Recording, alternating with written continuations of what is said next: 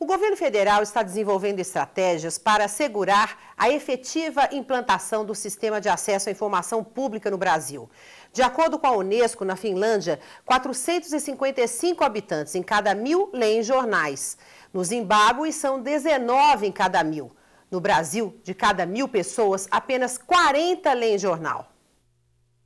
A Constituição Federal estabelece o acesso à informação pública como direito. Só que a falta de regulamentação inviabiliza o real acesso do cidadão a informações produzidas pelos poderes públicos, como, por exemplo, o acesso a livros, acesso à universidade ou mesmo a dados de algum ministério. A Lei Geral de Acesso à Informação amplia a inclusão digital, o que dá ao cidadão maior poder de escolha. A lógica é a seguinte: com os dados disponíveis na internet, a informação se torna mais acessível. De acordo com a Organização das Nações Unidas para Educação, Ciência e Cultura, a familiaridade do brasileiro com novas tecnologias de informação pode ser melhorada.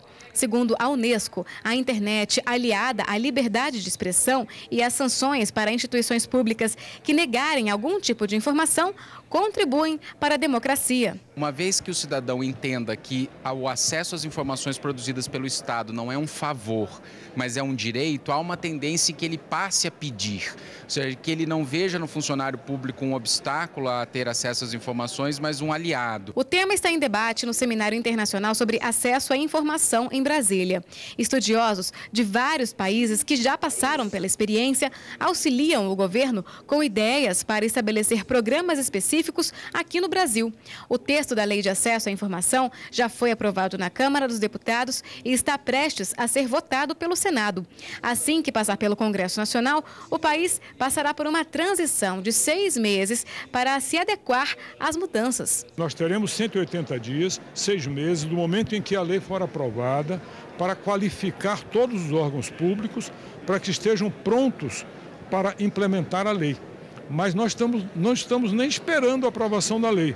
Este, com este seminário, já começa em convênio com a Unesco o trabalho da CGU com essa preparação. O texto também estabelece prazo máximo de 50 anos para o sigilo de documentos públicos, o que abre espaço para a liberação de antigos arquivos do governo brasileiro, em especial do período militar.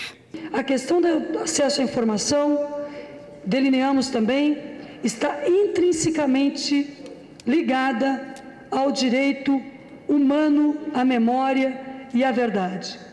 O direito à verdade tem sua premissa básica na ideia de que elucidar a verdade acerca das violações de direitos humanos cometidas hoje e no passado significam também fortalecer a democracia para um futuro mais justo.